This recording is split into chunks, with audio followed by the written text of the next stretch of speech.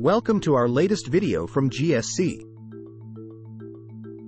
This video will explain the Peter Lynch paradox and how one can become a better investor.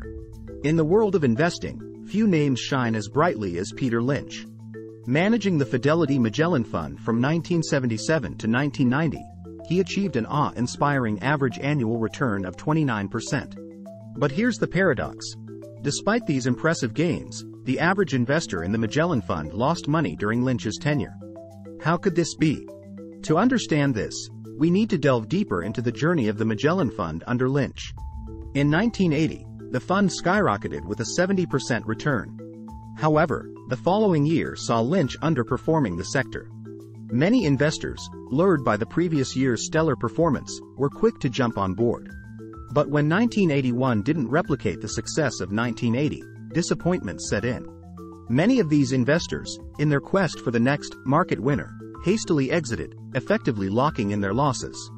Yet, those who displayed patience and remained with the fund for the subsequent decade enjoyed a return of 690%.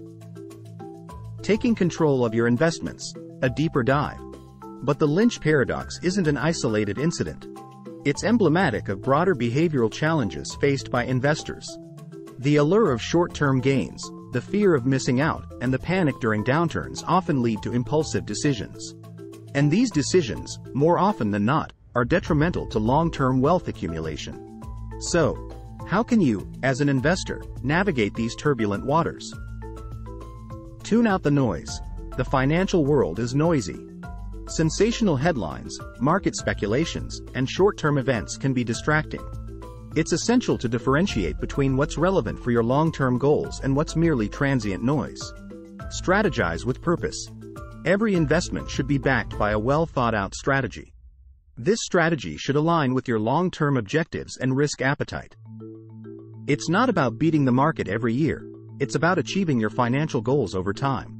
Champion quality. And speaking of choices, quality often trumps quantity. Think of it as a garden.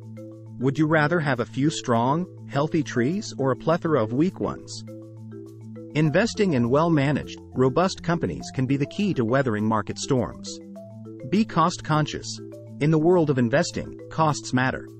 High management fees can significantly erode your returns over time. Always be aware of the fees you're paying and seek cost-effective investment solutions. Stay the course, perhaps the most crucial advice.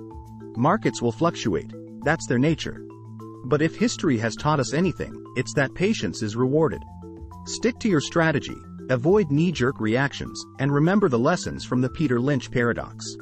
In conclusion, investing is as much a test of character as it is of financial acumen.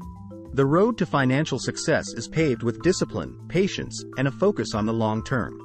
As you embark on or continue your investment journey, keep these lessons in mind, and you'll be better equipped to navigate the complexities of the financial world. Thank you for watching from GSC.